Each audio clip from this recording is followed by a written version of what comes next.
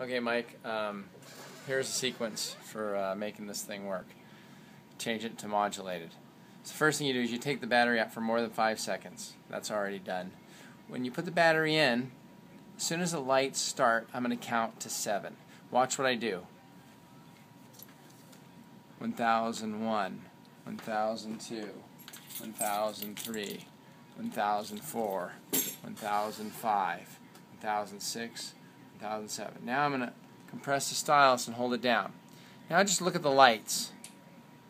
Look for the short reds.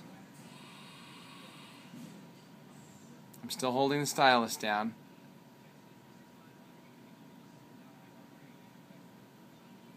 There, there are the short reds.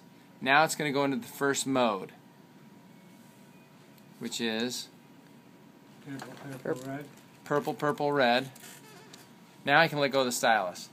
All right. Now I, I um, now to move to the next step in your book, which is um, optical off mode. I compress the stylus and hold it down for five seconds. Purple, purple, red. Now it'll jump to red, red, red. Now it's in red, red, red. I can let go of it. Okay.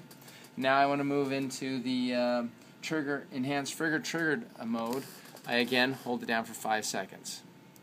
Look for red, red, red. It should go green, green, red now. Green, green, red. Now I can let go of it. Okay. And I compress it one more time for five seconds to move into the transmission method, which we care about. Now, this is what you see. You should see blue, blue, red. You want this to be blue, blue, blue.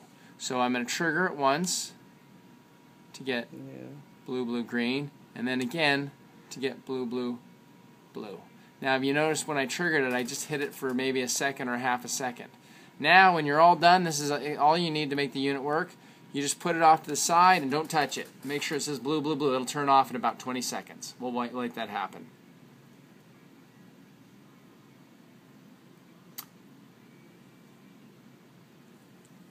All right, Mike. There. Now it's ready to go. It should work just fine. Thanks.